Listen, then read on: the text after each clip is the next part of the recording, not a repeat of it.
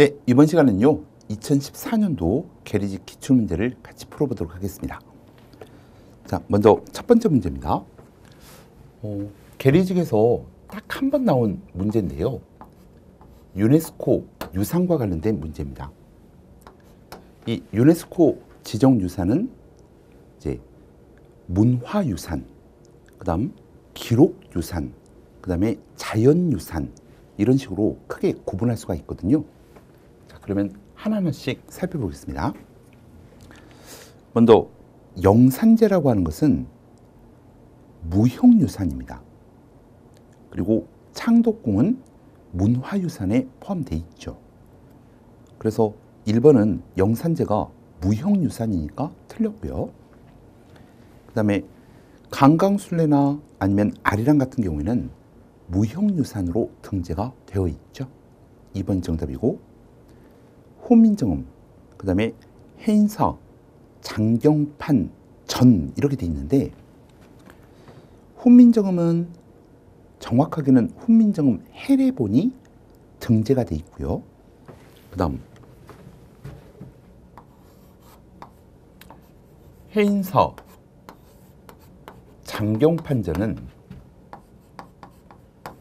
8만 대장경의 목판을 보관해 놓은 건물이거든요. 그래서 이건 기록 유산이 아니라 문화 유산에 등재가 되어 있습니다. 그래서 3번도 틀렸고 그 다음에 창녕 우포늪 제주 화산섬과 용암동굴 이런 것들은 지금 자연에 관련된 것은 맞긴 한데요. 창녕 우포늪은 유네스코 자연유산에 등재가 돼 있지 않습니다. 제주 화산섬과 용암동굴은 등재가 되어 있고요. 그래서 맞는 것만 고른다면 2번을 정답으로 고르시면 되겠습니다. 자, 다음은 2번 문제 볼까요? 고려시대와 조선시대 사회경제에 대한 설명으로 옳지 않은 것을 고르십시오. 고려시대에는 관청, 소, 사찰, 민간에서 수공업 활동이 이루어졌습니다. 2번 조선 초기에는 직전제, 세종대, 세조대죠. 실시해서 관리들에게 수조권 분급 제도를 확대하였다 이렇게 돼 있는데 2번 틀렸습니다. 왜 그렇죠? 자, 기존의 과전법하고 세조 때 실시되었던 직전법을 비교해 본다면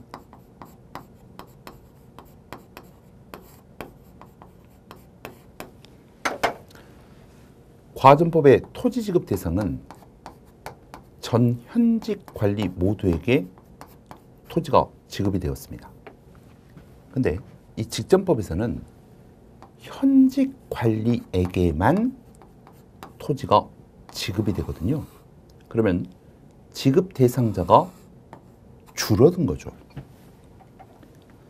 네, 그래서 확대하였다 이것 때문에 틀렸고 그 다음에 3번 15세기 말 전라도 지방에서 발생한 장시는 조선 후기에는 점차 전국적으로 확대가 되죠.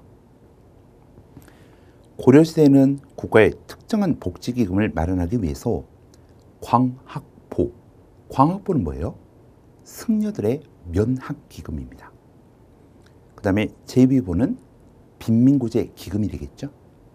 그 다음 팔관보는 팔관회를 개최하기 위한 기금.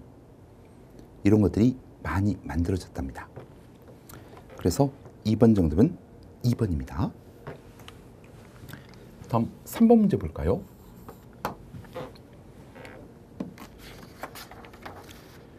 다음에서 수술하는 인물 기억에 대한 설명으로 옳은 것을 고르십시오.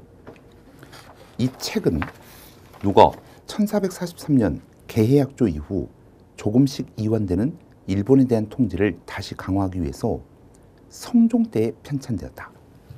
일단 이 책은 일본과 관련된 책이고요. 그 다음에 성종 때 편찬이 되었답니다. 일본과 육교의 지리, 국정, 풍속 외에도 교빙의 연역이나 통상에 관한 규정을 모아서 조선 초기 일본에 대한 인식을 정리한 것이다. 그러면 일본 그 다음에 류큐 지역의 여러 내용들을 정리해서 성종 때 편찬된 책 뭐예요? 신숙주의 해동 제국기입니다. 근데 문제에서는 물어보는 게 인물에 대해서 물어봤으니까 일단 신숙주에 관련된 지문을 찾아봅시다. 1번 집현준 출신 학자로서 해동제국기를 편찬하였다. 1번이 바로 정답이겠네요. 소격서를 폐지해서 도교적 의식을 거행하지 못하도록 하였다. 소격서의 폐지는 조광조 때. 사육신 중에 한 사람으로서 단종의 복위 운동에 참여했다가 죽임을 당하였다. 사육신 이 분은 뭐 이계, 하위지, 유성원, 성삼문, 융부, 박백년 다양한 분들이 계시죠. 다만 이제 출제자의 의도는 신숙주하고 이제 비교할 수 있을 만한 인물을 생각하면서 지문을 만들었을 거예요. 그래서 사육신 중에서도 성삼문을 생각하지 않았을까? 4번 중국의 이상적인 정치 규범인 주례를 참조해서 조선 경국전을 편찬하였다. 조선 경국전은 정도전이죠. 3번의 정답은 1번이었습니다. 다음 4번 문제 볼까요? 다음은 경남 남해군에서 최근 출토된 은제 관식이랍니다.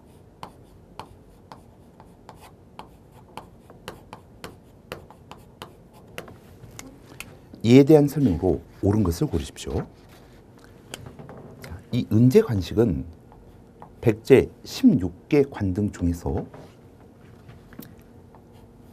나솔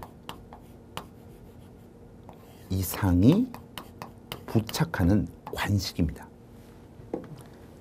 육관등, 나솔. 그러면 이건 나라에 대한 설명은 백제라는 것 아실 수가 있겠네요.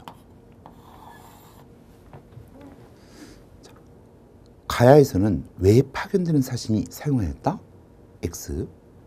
고구려에서는 절풍을 쓰는 신분층이 사용하였다? X. 신라에서는 황색 공복을 입는 관인들이 사용하였다? X.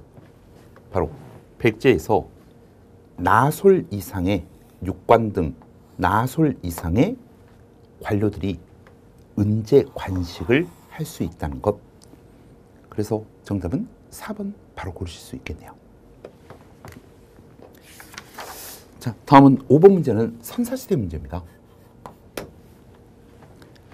보기의 설명이 모두 해당하는 시대로 가장 적절한 것을 골라보십시오. 부족 단위의 평등 사회였다. 애니미즘, 샤머니즘과 같은 주술적 믿음을 갖고 있었다. 움집 집터의 바닥은 대부분 원형이거나 모서리가 둥근 사각형이었다. 가락바퀴나 뼈바늘의 출토를 보아 원시적 수공업이 행해졌음을 확인할 수 있다. 전부 다 어느 시기의 내용들입니까? 신석기. 그래서 5번은 2번으로 바로 골수 있겠네요. 자, 다음 6번 문제 볼까요? 조선 후기 가족제도의 모습으로 가장 적절한 것을 보기에서 골라보십시오. 지금 시기가 딱 특정이 되어 있습니다. 조선 후기. 아들이 없을 경우 양자를 드리는 풍속이 보편화되었습니다. 조선 후기에는 양자제가 보편화되었다. 맞죠? 다음.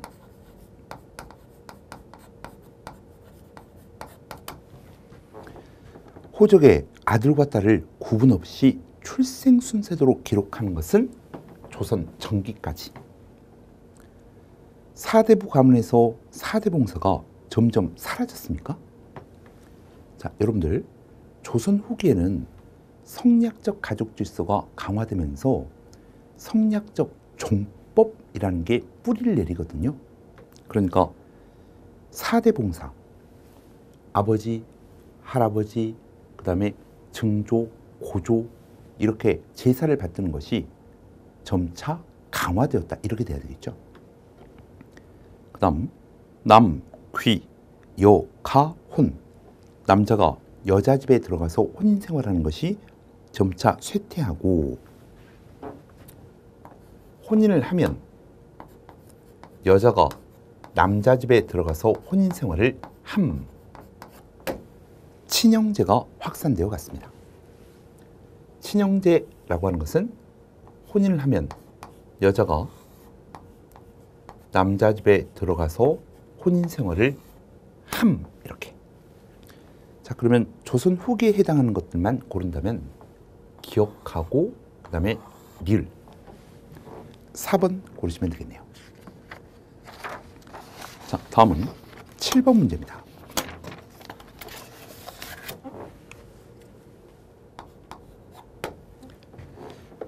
다음에서 설명하는 신문으로 옳은 것을 고르십시오. 고종은 통리기무함은 내에 이 통리기무함은 1880년 개화 정책을 추진하기 위한 개혁기구로 만들어졌었죠. 그리고 방문국이라는 것을 설치했답니다.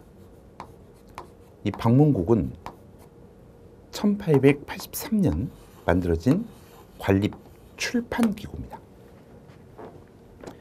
거기에서 신문을 발간하도록 하였고 방문국의 초대 총재 민영목, 부총재 김만식을 임명하고 그 해 창간호를 발행하였답니다.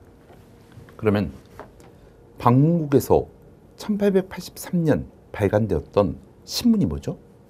우리나라 근대 신문의 효시 한성 순보입니다. 열흘마다 한 번씩 가능되고 한문으로 작성이 되었으며 관보적 성격을 가지고 있는 한성, 순, 보. 그러면 정답을 바로 4번으로 고를 수 있을 것 같습니다. 자, 그러면 8번 문제 볼까요?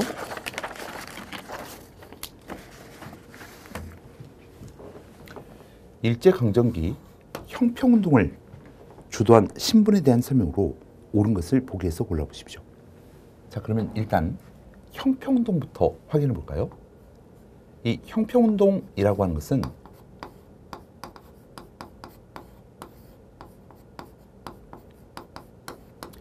(1923년) 진주에서 조선 형평사가 만들어지고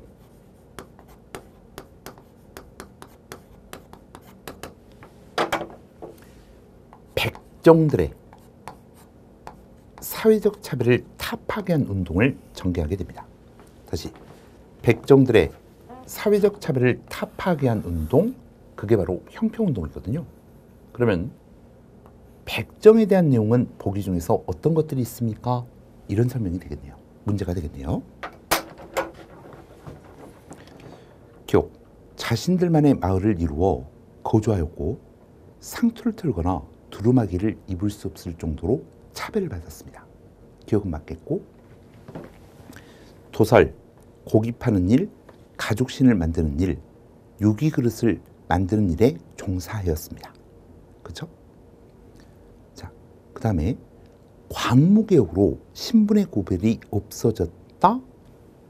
제 1차 가보개혁 때 신분제도가 폐지되었고 법적인 신분제도가 폐지되었다 하더라도 계속적인 사회적 차별은 남아 있었잖아요. 이거 틀렸습니다.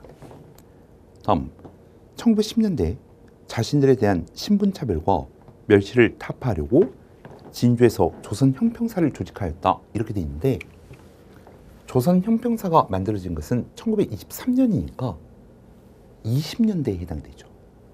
그래서 이 문제에서 관련된 것은 기억하고 니은만 정답이 되겠습니다. 그래서 1번이 정답이죠. 다음은 9번 문제 볼게요. 어, 이 9번 문제가 출제가 되었을 때 논란이 굉장히 많았습니다. 자, 왜 논란이 되었는지 확인을 해볼게요. 밑줄 친 기억 이전에 우리나라 사회 모습으로 옳지 않은 것을 고르십시오. 해방 이후 우정 사업의 가장 획기적인 성과는 우체국의 대량 증설에 따른 일면 일국주의의 달성이었다. 농어촌에는 별정 우체국이 설치되어 우체국이 대폭 증설이 되었고 이로써 도시와 농촌 간의 통신 시설을 균형 있게 제공하게 되었다. 이러한 우편망의 비약적인 신장에 힘을 입어 매일 배달제가 실시가 되었고 그 후 우리나라 우편 역사상 처음으로 우 편 번호제가 실시가 되었답니다.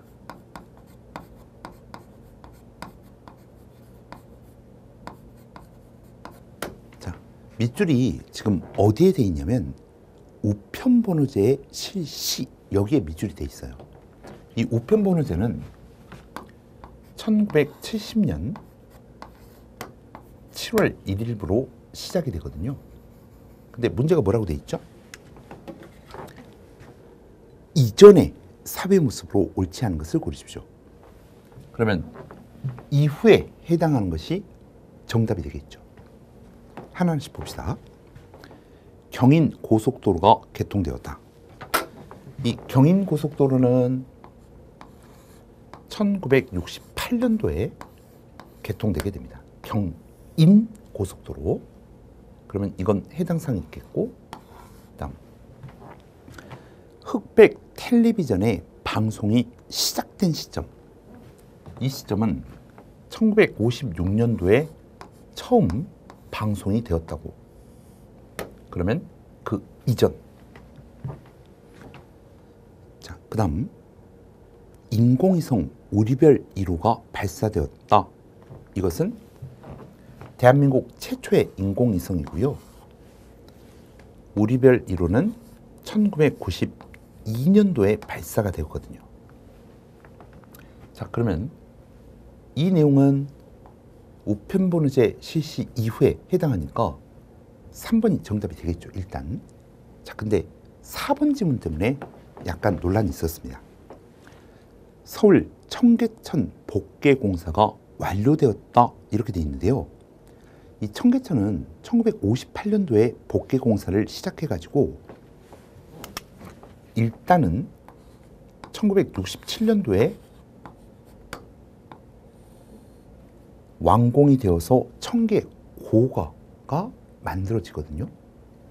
근데 사업은 계속적으로 이어지게 돼요.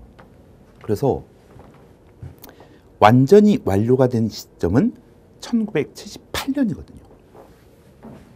완전히 완료가 된 시점은. 그런데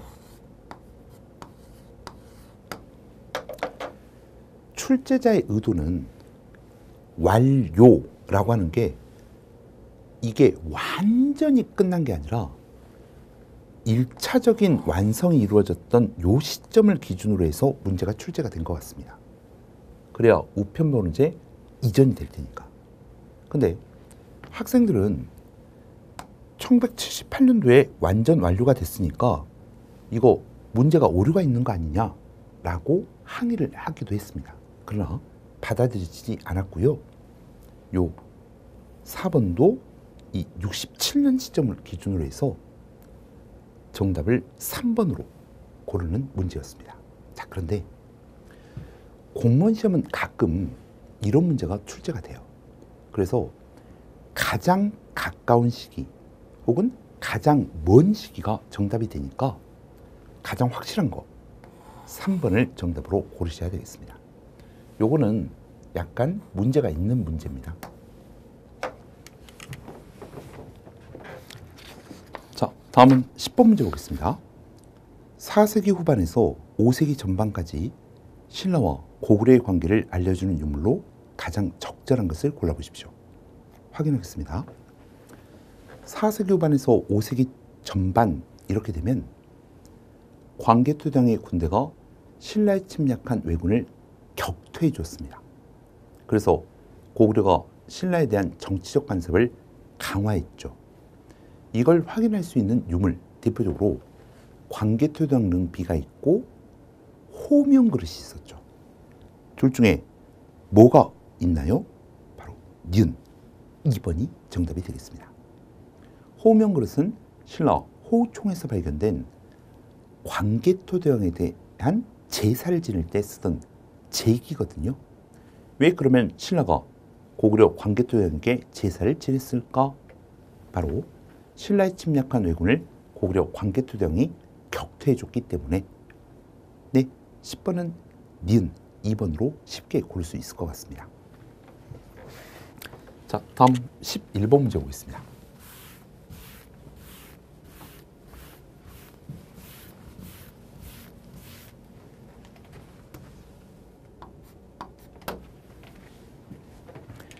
다음에서 수술하는 인물, 기억에 대한 설명으로 옳은 것을 고르십시오. 기억은 북후시를 잘 써서 신라의 문인 김생, 고려 문종 때 유신, 고려 중기의 승려 탄현과 함께 김생, 유신, 탄현 그리고 최우를 포함해 가지고 신품 사현이라고 하죠. 무신 정권의 최고 집권자 최우입니다. 최우는 도방을 확대하고 내도방, 외도방으로 편성하였고 새로이 마별초와 삼별초를 조직해서 무력 기반을 크게 확충하였다. 1231년부터 시작된 몽골군의 대대적인 침략에 대비하면서 1232년 강화도로 수도를 옮겼습니다. 그러면 보기 중에서 최후 관련된 내용은 무엇입니까? 1번 그는 몽골의 침략에 대비하기 위해서 초조대장경을 각성하였다. 초조대장경은 거란의 침략을 막기 위해서 현종 때 조성된 거 아닙니까? 이 최후 때는 강화천도 시기에 초조대장경이 소실된 이후 다시 한번 대장경을 조판하는 제조대장경 조판을 시작했던 인물이죠. 8만 대장경이고요. 그의 시는 송나라에 널리 알려져 소화집이라고 하는 시집으로 간행되었다. 이렇게 돼 있는데 그 소화집은 최후가 쓴 게 아닙니다. 박일량이라는 사람과 김근이라는 사람이 송나라에 사신으로 갔을 때 그때 발간한 문집이고 이 문집 자체는 전해지지 않습니다.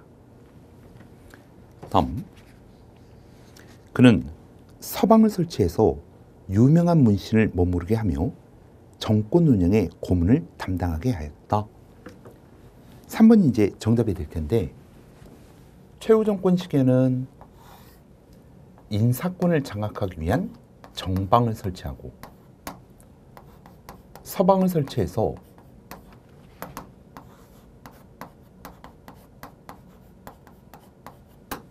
서방을 설치해서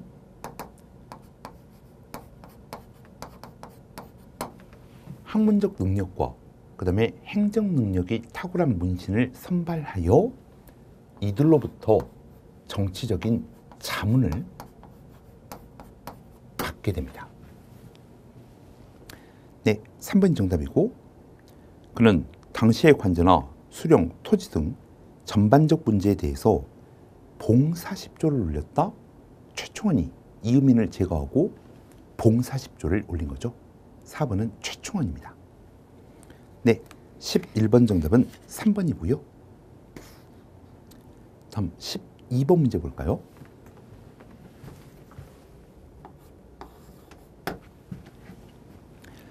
밑줄 친 그의 저술로 옳은 것을 고르십시오.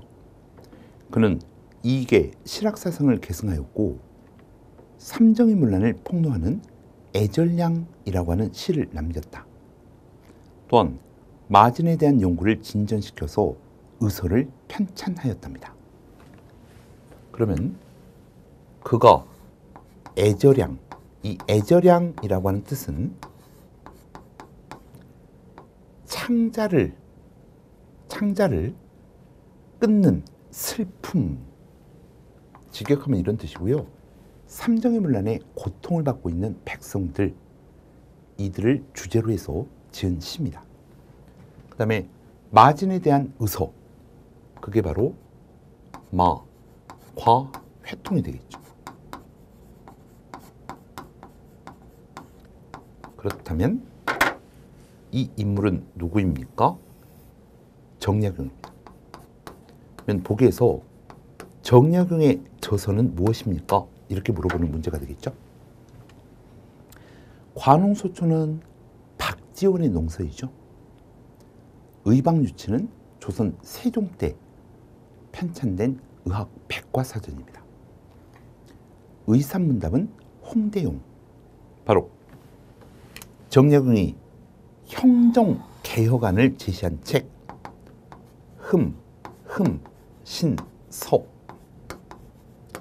정답 4번이 되겠네요. 자, 다음 13번 문제입니다.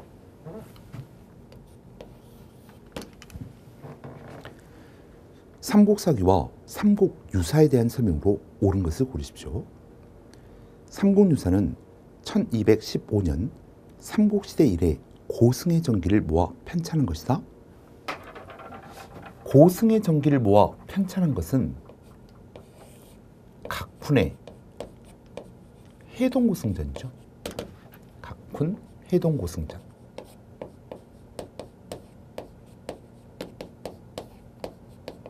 다음 삼척 두타산에서 집필된 책으로서 우리의 역사를 서사시로 엮었다. 이것은요. 이승효의 제왕국입니다.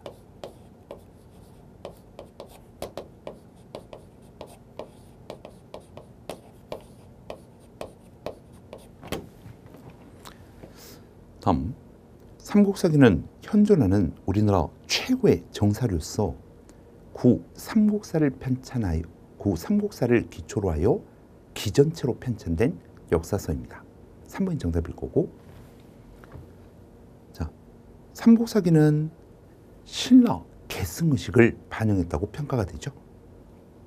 네, 13번인 정답은 3번이고요. 어, 이승우의 제왕후기가 삼척 두타산에서 집필되었다. 2번. 근데 삼국유사는 참고적으로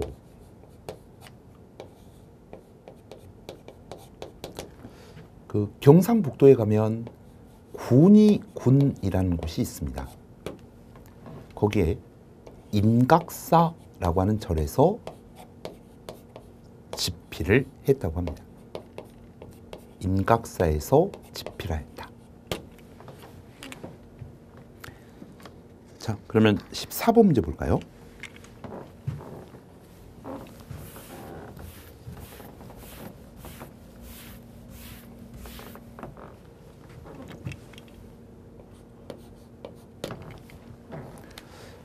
기억 니은에 대한 설명으로 옳지 않은 것을 고르십시오. 누구는 백성을 해치는 자가 공자가 다시 살아난다 하여도 내가 용서하지 못한다. 하물며 어디는 우리나라 선유, 선현에 대해서 제사를 지내는 곳인데 어찌 이런 곳이 도적이 숨는 곳이 되겠는가 라고 하면서 군조를 시켜 유생들을 해산시켰다. 이 사료는 자주 보셨던 사료죠. 지금 화자는 흥선대원군이고요. 선유, 선현에게 제사 지내는 곳, 그곳이 서원이죠. 1번 흥선대원군은 외란 때 소실되었던 경복궁을 재건하였습니다. 그렇죠? 다음 흥선대원군은 송시열의 유지로 그 제자들이 만든 노론의 정신적 지주였던 만동묘를 철폐하였습니다. 다음 조선시대 지방수령의 자문 전담기구 서원이 아니죠. 3번은 뭐에 대한 내용입니까? 유향소일 수도 있고 시기에 따라서 뭐 향 청, 향 소. 그다음에 조선 후기에는 향 회 이런 식으로. 다음 사액된 47개 소 외에는 즉 사액손 47개를 제외하고 약 600여 개의 600여 개의 서원을 정리하게 됩니다. 네, 그래서 14번인 정답은 3번 고르시면 되겠네요. 다음 15번 문제 볼까요? 다음에서 수소라는 기억에 대한 설명으로 옳은 것을 고르십시오. 무엇을 다시 짓고 이 색 체크. 판 개성부사 겸 무엇 대사성으로 삼았다. 대사성의 체크. 이 대사성이라고 하는 직책은요. 성균관의 최고 책임자거든요. 공민왕 때 이색을 성균관 대사성으로 임명하여 이색이 다시 학칙을 정비하고 매일 명륜당에 앉아 명륜당의 체크. 이 명륜당은 성균관 유생들의 강의실입니다. 경을 나누어 수업하고 강의를 마치면 서로 더불어 논란하여 권태를 잊게 하였다. 자, 기억은 지금 성균관이라고 하는 교육기관입니다. 1번 성리학을 중흥하기 위해서 공민왕 때 중용되었다. 이 중용이라고 하는 표현은요. 개편하여 더욱 강화하였다. 이 공민왕 때는 성균관을 순수한 유학교육기관으로 개편하게 되죠. 1번 정답입니다.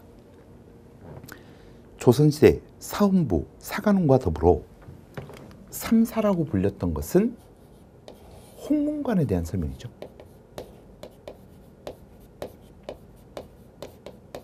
다음 여러 군현에 설치되어서 양인 이상의 신부는 입학이 가능하였다. 부, 목, 군, 현에 각각 하나씩이 설치가 되었고 양인 이상은 입학할 수 있었다. 지방교육기관인 향교입니다. 칠제를 두어 학문을 전문화시켰으며 양현고를 두어 후원하였다. 이렇게 돼 있는데 4번은 고려 예종 때 추진했던 관악 진흥 정책이거든요. 그래서 이 시기에 가장 맞는 것은 1번이 정답이 되겠습니다. 자, 다음 16번. 우리나라 교통과 통신에 대한 시대별 설명으로 옳지 않은 것을 고르십시오. 신라 소지마리간 때 사방에 우역을 두고 관도를 수리하였다. 소지마리간 시기 우역제도가 실시가 되죠. 고려 후기 고려가 원에 복속되면서 몽골식 역참제도가 만들어졌습니다. 다음 3번 잘 보시면 조선 초기에 조선 초기라고 하면 15세기거든요. 자, 근데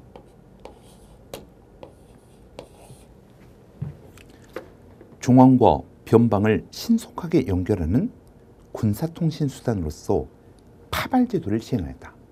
이 파발 제도가 임난 중에 설치가 되었다는 것은 2012년도 문제에서도 출제가 됐었거든요.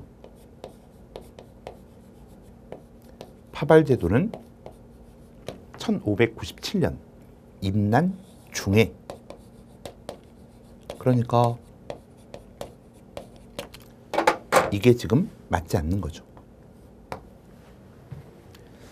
다음 조선시대 영로 행정의 총괄은 6조 가운데 병조가 담당하게 됩니다. 자, 그러면 17번 문제 볼까요?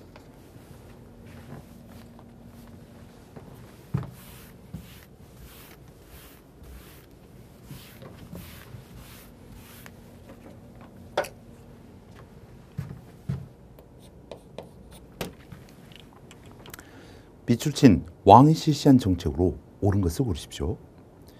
민생의 안정과 문화 부흥에 힘쓴 왕은 홍제정서라고 하는 방대한 전술을 남긴 학자 군주였다. 일단 홍제전서 여기까지만 나오더라도 아 정조구나 알 수 있죠. 왕은 서울과 노비에 대한 차별을 완화하였으며 재정 수입을 늘리고 상공업을 진흥시키기 위해서 통공 정책을 시작하였답니다. 시행하였답니다. 그러면 이 통공 정책이 뭐예요? 1791년 신해 통공 조치죠. 그러면 유기전을 제외하고 시전 상인들의 금 난정권을 폐지하는 것. 자, 그러면 정조 시기에 해당하는 것 정책으로 옳은 것 1번 인문 종합 지리서인 신증 동국 여지승남을 편찬하였다. 그냥 동국 여지승남이 나오면 이거는 성종 때인데요. 신증 동국 여지승남이 나오면 이거는 중종 때에 해당됩니다. 다음 창덕궁 안에 명나라 신종을 제사하는 대보단을 설치하였다. 임난 때 조선의 원병을 파견해준 명나라 신종을 제사 지내는 대보단. 숙종 때 만들어졌죠. 백성의 여론을 직접 정치에 반영하기 위해서 신문고 제도를 부활하였다. 신문고 제도의 부활은 영조고요. 강화도에 외규장각을 두어서 왕실의 행사를 기록한 의궤 등 서적을 보관하였습니다. 규장각과 외규장각. 정답은 4번이 되겠습니다. 자, 다음 18번 문제입니다.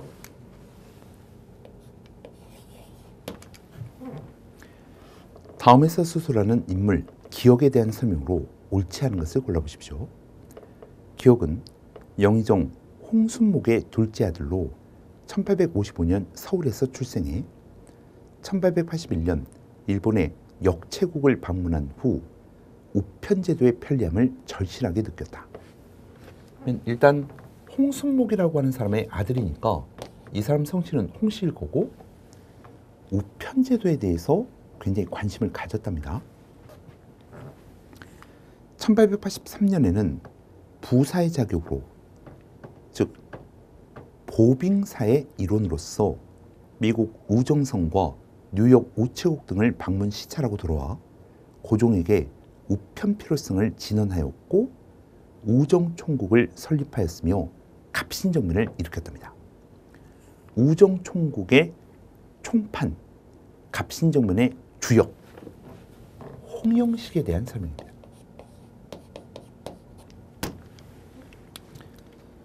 자, 옳지 않은 거 골라보세요. 박정영, 조병직, 이상재, 윤치호 등과 함께 조사 실찰단의 일원으로서 일본에 간 경험이 있습니다. 왕의 명령으로 서울 전동에 전이감 건물을 개수한 후 우정총국 청사 건물로 사용하였다. 이 사람이 우정총국의 총판이었으니까 학도와 공장 수십 명을 이끌고 청나라에 가서 군기, 전신, 전화 등의 기술을 배우도록 하였다. 3번은 뭐에 대한 설명입니까? 영선사 설명하는 거거든요. 그러면 영선사설 딴 대표적 인물이 김윤식입니다. 그래서 3번 틀렸고요. 우정 총판에 임명되어 박용효 등에게 시문을 분담하게 하고 일본, 영국, 미국의 공간에 우정국 설립을 통고하였답니다. 네, 그래서 영선사 해당하는 것은 홍영식과 관련이 없으니까 3번을 정답으로 고르시면 되겠습니다. 자, 다음 19번하고 20번은요. 이제 상용 한자와 관련된 문제입니다. 밑줄 친 어의 의미가 나머지 색과 다른 것을 골라보십시오. 자, 하나씩 볼게요. 1번 가, 정, 맹, 어, 호 이렇게 돼 있죠. 가혹한 정치는 호랑이 보다 사납다. 이 오자를 1번은 무엇 무엇 보다 이렇게 해석했고요. 그 다음에 양약, 고, 어, 구 이건 뭐예요? 좋은 약은 입에 쓰다. 오자는 무엇 무엇에 3번 청출어람 이 청어람 푸른색은 쪽빛에서 나왔고 그러나 푸름이 쪽빛보다 더하다. 그죠? 그러면 3번 같은 경우에는 쪽빛보다 이렇게 돼 있으니까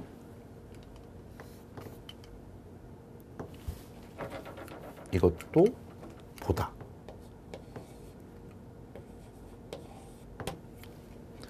다음 빙수 위지 이 한어수 얼음은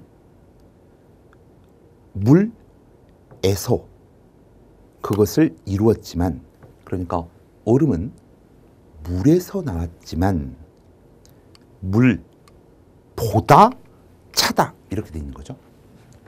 역시 보다. 그래서 해석이 다른 한 가지는 2번이 틀렸습니다. 자, 다음 20번 보겠습니다. 20번에 공통적으로 들어갈 한자로 알맞은 것을 고르십시오. 왕후장상 무엇 유종호 왕후장상이 어찌 시가 따로 있겠는가? 그러면 기억은 어찌 이렇게 해석하는 단어가 들어가야 되고 그 다음에 왕도 흥 왕도가 흥한다면 백성이 왕도가 흥하면 백성이 어떻게 될까요? 편안해지다.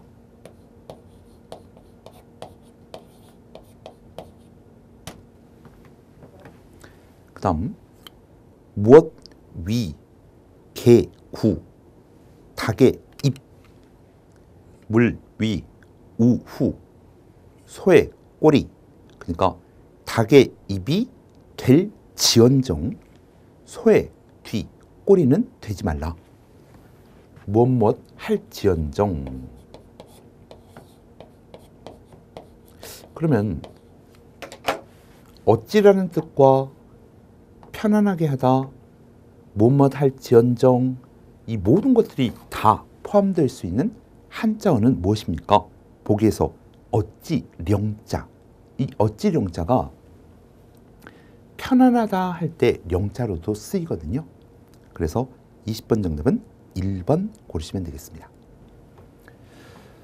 어, 2014년도 문제는 난이도가 높지는 않았습니다.